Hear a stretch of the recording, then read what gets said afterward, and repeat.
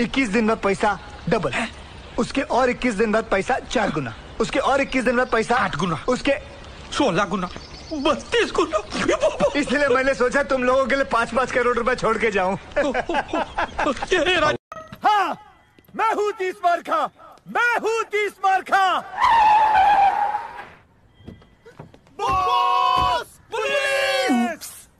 मैं नहीं हूँ तीस बार खा अल्लाह की कसम. जानू आज डेट पे क्या खाना पसंद करोगी? जो आप खिला दो। ना तुम बोलो ना। मैं बोल रही हूँ ना कि जो आप खिला दो। गू खाएगी? है? गू? बोलना चुप काहे हो गए? आई लव यू ए ए। का हो? रह दे कुछ ना। अरे कि हमर के लगही।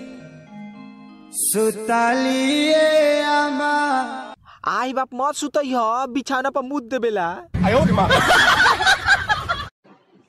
सर आपकी नज़र में प्यार क्या है? लहसुन जो है से बीस के जी होना चाहिए दो सौ रुपए केजी चल रहा है।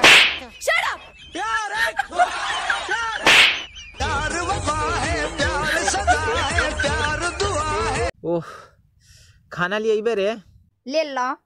वैसे कहे कपड़ा फिचली ह? कपड़ा ले लो।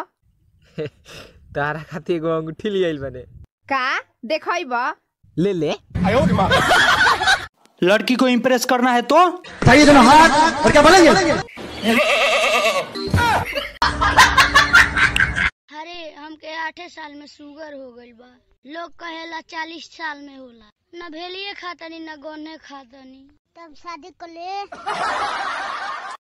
किसी के पास गर्लफ्रेंड नहीं है तो इसका मतलब ये नहीं कि सलाह किस्मत खराब है। शकल भी तो हो सकता है।